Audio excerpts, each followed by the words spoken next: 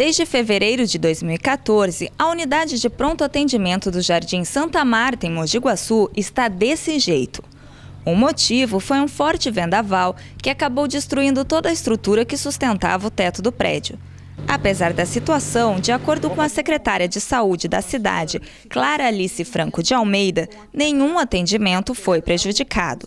Então, todo o trabalho de, que o UPA exercia dentro do, da unidade do IP, ela foi transferida para dois serviços, o PPA e o, H, do PS do HM. Então, em momento algum, a população ficou sem atendimento. Daí nós aumentamos o número de funcionários e passamos a atender a população nesses, nesses dois serviços de pronto atendimento. Clara também explicou que, mesmo com os novos atendimentos, o PPA do Jardim Novo 2 e o pronto-socorro do Hospital Municipal Tabajara Ramos não estão sobrecarregados. Teve momentos de sobrecarga? Sim, principalmente na época da epidemia da dengue. Passou isso? Ficou normal, igual sempre foi.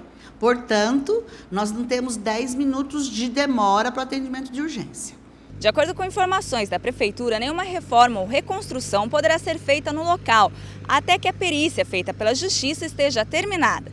Caso a Prefeitura realize alguma mudança, ela poderá responder judicialmente por isso.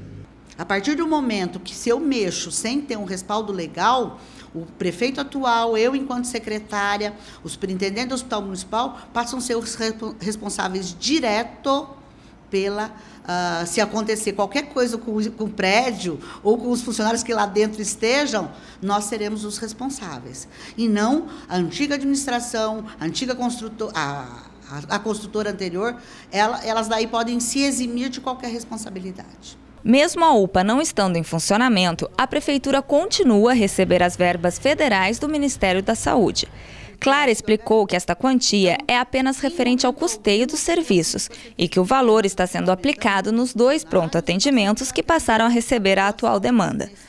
Né, como a gente continua com o serviço sendo realizado, continuamos informando para Brasília toda a produção realizada, simplesmente mudou de endereço, o UPA. Né? E os trabalhadores que lá estavam antes foram para os serviços que estão uh, fazendo esse suporte. Então, o repasse continua havendo para nós, porque a gente continua monitorando, fornecendo as informações para o Ministério da Saúde. A expectativa da Prefeitura é que a perícia feita no local seja finalizada no final do mês.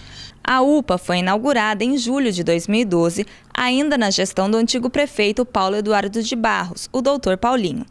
Antes do desabamento, a UPA realizava uma média de 250 atendimentos diários e contava com 67 funcionários que foram transferidos para o Hospital Municipal e o PPA do Jardim Novo 2. A unidade custou 2 milhões de reais de verba federal, sem contrapartida do município.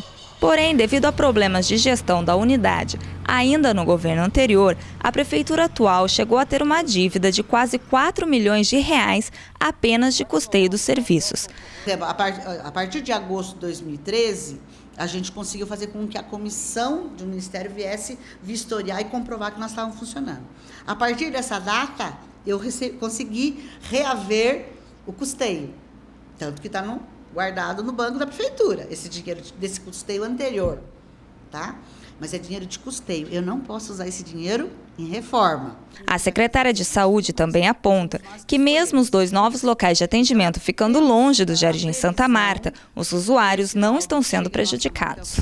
Então, do ponto de vista da assistência, qual o prejuízo? Se é grave, tem SAMU, tem as ambulâncias municipais, se o caso é grave, entendeu? Então a população não ficou de forma alguma desassistida, porque a gente se preocupou em dar esse suporte todo.